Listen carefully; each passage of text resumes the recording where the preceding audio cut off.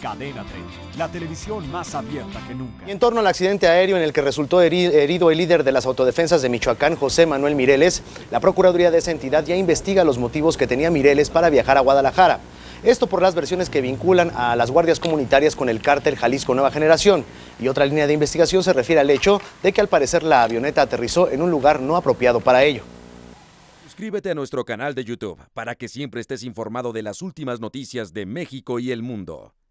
Empieza ahora mismo dándole clic a estos videos.